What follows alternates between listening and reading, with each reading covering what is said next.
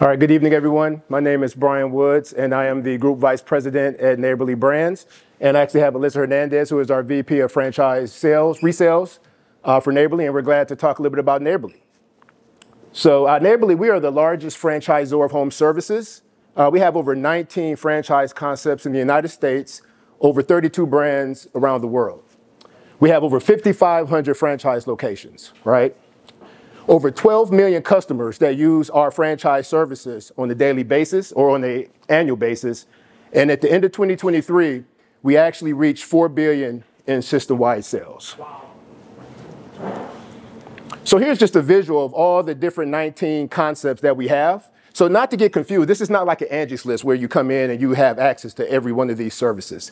Every one of these businesses is a, their own individual franchise concept for you to develop right? We have things such as HVAC, plumbing, um, home cleaning, painting, restoration, um, lawn care, right? You name it, we got it, right? And the idea is that you have the opportunity to select what franchise concept you want to grow in. So if you click again, so our strategic uh, planks is we want to grow you, right? So as a franchise partner, what we want to do is make sure that you have the opportunity to grow. You have the opportunity to grow with just the franchise concept that you're in, so as you're developing, right, we'll give you the opportunity to acquire more territory and build that one brand. But what we're starting to see is that a lot of franchise partners are starting to diversify and add more franchise concepts to their portfolio. So about five to seven percent of all of our franchise partners own more than one brand, right?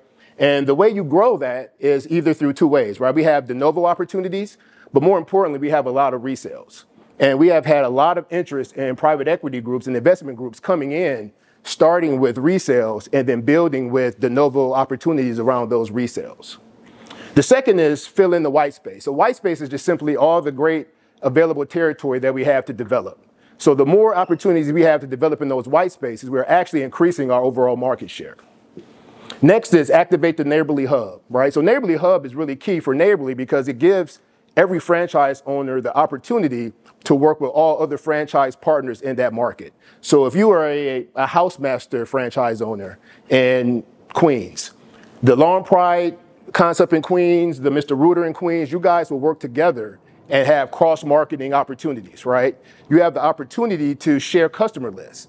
So imagine coming in as a franchise partner and having customer lists for all the other neighborly brands in your territory. So you get that opportunity to work as a hub and actually find ways to develop referral programs to help bolster all of the business opportunities in, within that territory.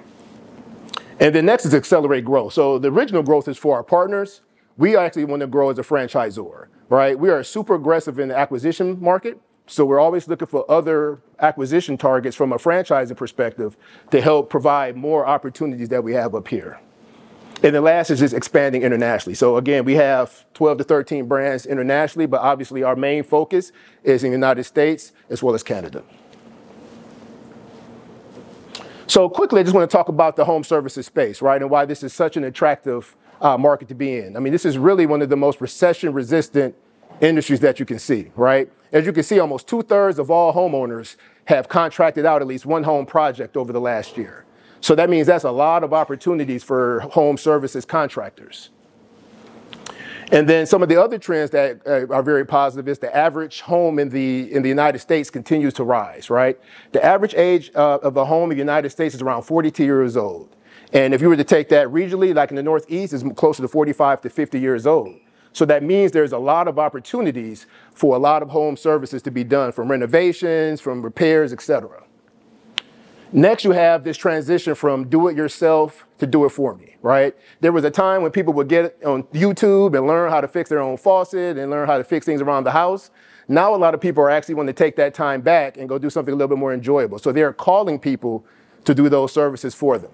And when I look at that, right, it's two kind of spectrums when it comes to homeowners, right? When you look on one side of the spectrum, you have baby boomers, right, who may not have the physical capability to be able to do some of these things around the home. And then when you also look on the other side, you look at millennials, who are the, the biggest driver of home services or home purchases now, they just don't have the expertise, right? So some of the data we get, we found that only one in four millennials knows the difference between a flathead and a Phillips screwdriver, right? So with that being said, there's gonna be a lot of opportunities for us to be able to do services. Um, next is population, right? The population continues to increase over the years, right? And then there was a study that, what's that? Five minutes? Yeah. Okay, we got 10 total. Yep. Um, so yeah, so basically I was saying you're going to need about 10 million homes to accommodate the uh, increase in population. And then lastly, home ownership continues to, to rise. So again, these are all good reasons why the home services space is very attractive.